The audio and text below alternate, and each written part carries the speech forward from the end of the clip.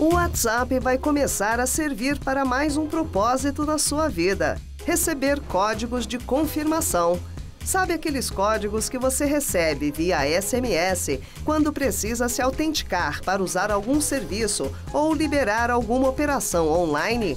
Em breve, alguns deles podem começar a chegar a você via WhatsApp e não mais via SMS.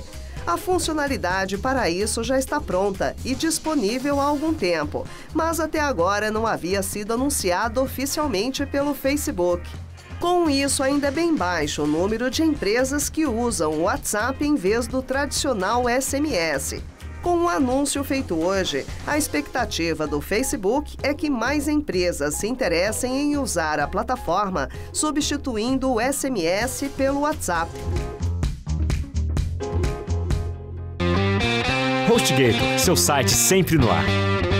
Acesse hostgator.com.br.